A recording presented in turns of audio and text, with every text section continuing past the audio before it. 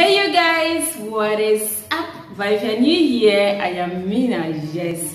And I know it's been a while I've been away. It's just because I lost a loved one, which is my mom.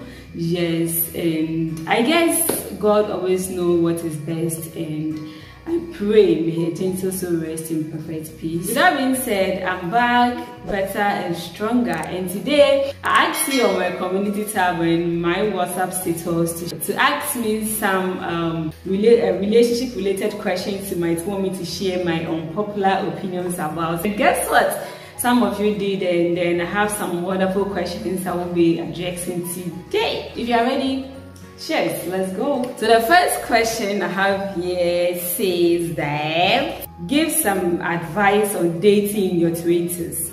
As I clearly stated, these are my opinions. Yes, and opinions are like noses. Everybody gets some. Hmm? What I would say is that when you are dating in your 20s, please open your eyes widely, check the red flags, um, don't lower your standards when dating, like hoping like I'm looking my standard to get to know more about this person. Then later I tend to show them the real. Please don't do that. Just go with all your cards on the table. Show them the real you. If they like you, they will stay. If they don't like, they will move. And one thing I will add to that in this era of social media, please, please, if you are dating someone, just try to make it a little bit exclusive. Exclusive means like um, I'm not saying you should keep the person secretive, but let it be a little bit more private so that by the time you get into your early 30s, you've no nobody like I said anybody that can just go through your social media and get uh, the list or the number of people you've dated. Like you get you get that thing. You wouldn't want to be working around with that tag. If you just somebody wants to date you, just go to your social media page, just type then you got a list of all the men you've dated because you posted them my boo, my bae.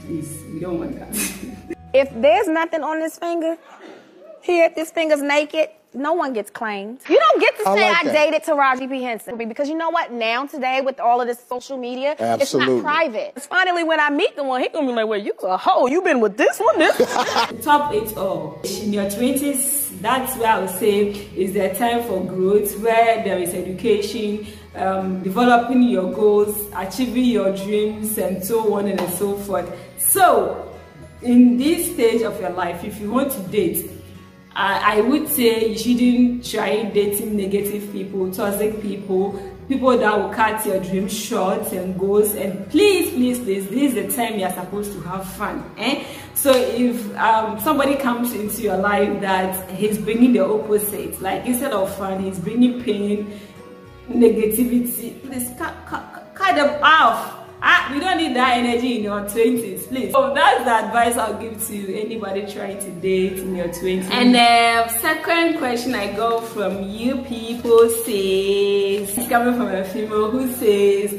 I don't have a boyfriend, what should I do? okay if i really understand you means you are not dating and then you want to start dating what you should do what I would say you should do is the number one thing is start developing yourself. Nobody will want to like date somebody that will be a burden to him or her. So by the first thing you do to attract somebody into your life is just um, start developing yourself. I mean, by doing something for yourself, helping yourself. So before the person meet, meets you, like you're already doing something for yourself. You are not just sitting idle waiting for somebody to come and date you. And then dress smart, look attractive, and go to places, go to more fun places that you meet new people. If you don't go out, you're only going to sit in your homes. And guess what? The people you attract are the people probably you wouldn't like that much just visit more uh, places that you could meet your kind of guys you might want to date and make yourself more lovable that people can approach you i guess. Yeah that's it. So that's the dating tips i'll give to you yes the next um, one i have here says that um, how do women want to be treated? Wow this is like a million dollar question. How do women want to be treated um, I would say first and foremost thing is men are always factual with stuff. So if it's not A, it is B. Whereas we women, we are not like that. We are emotional beings. So sometimes we need to be read to be understood, right? Men are very good. I wish women were a little better at this. Men are very good when you fight, you have the fight and it's over. It's not over for us. We don't do that.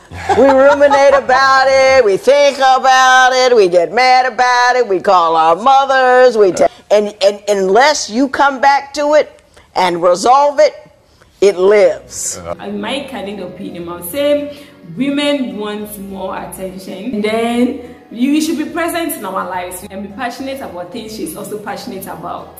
Okay, I feel I feel uh, most times people think women are complicated. Men, some men think women are complicated. They have they are hard to be with. They are difficult to date. But that's not the case. Women we are lovable people, and then most of the times we are made up of emotions. And I would say if you are dating somebody, try to like talk to the person. You people should communicate about stuff. Ask important questions. Important questions like what's your favorite food? What do you like doing on your leisure time? I want to really know you. For instance let's say when you went to high school or uni when you have a roomie you wouldn't know what the person wants to like you start um, uh, uh, that living. So let's say if you put a plate here and the person is pissed about it, you know like, okay, I placed this cup here today and the person is pissed about it. So tomorrow I won't put it here. Then tomorrow, instead of leaving it on the table, after washing, you go and keep it under the table and you see the person doesn't talk about it, means that person is cool with that. So you try to coexist and then try to ask more important questions, questions that will let you to know more about the person you are dating or you are seeing. And then I would say try to let her know she's the one you are seeing. That thing is important too. You don't know. Keep affirming us, like yes.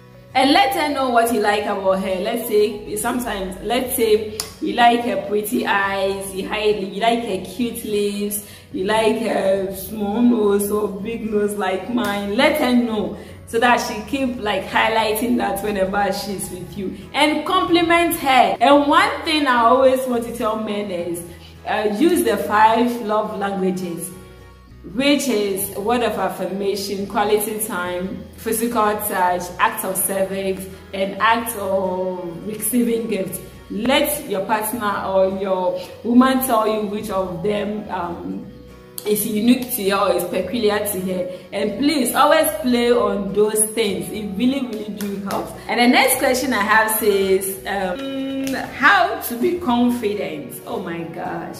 This thing confidence means um, I think me to me, like let me put myself in a place. Confidence comes for me when I I, I look I dress nicely, like I'm I feel my face is on point and all kind of thing. That's how confidence comes from me. So always try to look it has a good in yourself and always try to be yourself. I think to me, always try to be yourself. Nobody is born confident. Me myself, I was the timid type, shy type, unfriendly type. So I used to be one my one corner.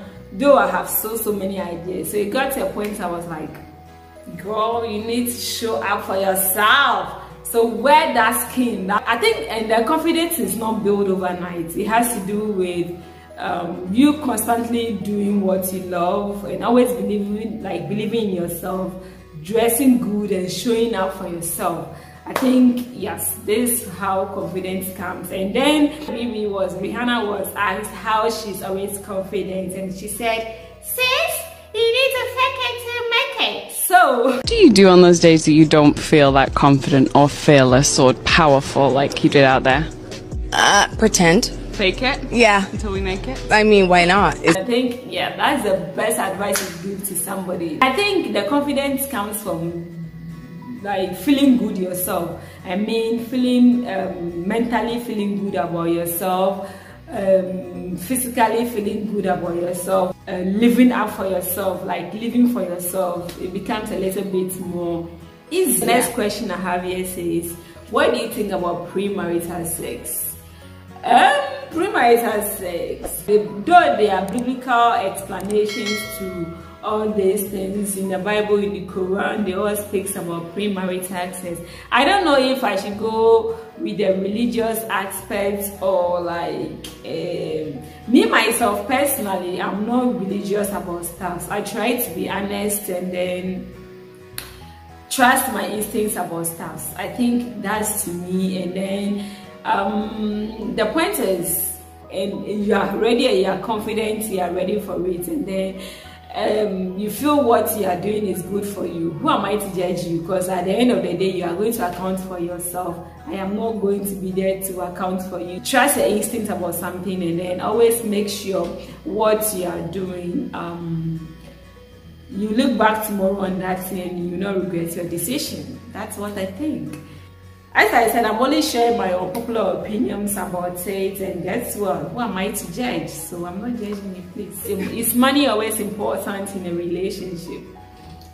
Girl, money is important. On a more serious note, though um, money is not always everything, but sometimes money is important in a relationship because the money they say makes the world go round. Money is not always the main focus um, in a relationship. So if you are going, make sure like the person you are going in for without um, um, like the person has plans. The plans that will bring money tomorrow the person has future. The person is respectful and, and all that. The person could have all the money but wouldn't be respectful wouldn't treat you right. That's what you wouldn't want in a relationship. And then the money comes because decisions that are makes or activities in a relationship are being run by money. In this the economy that we are in in ghana. If you don't have money my sister you go die you oh. so with that being said um that's all for today's video. And let me know in the comment section maybe something i said that you disagree with me because as i said earlier on opinions are like noses. Everybody got one. So i shared my you don't agree with me. Let me know in the comment section. And then let me also know if you also have something to add to what i have said so that we, since we are all here to learn from each other with that being said that's all for today's video. If you're new to the channel make sure you subscribe like and leave a comment and i'll see you in my next video. Bye bye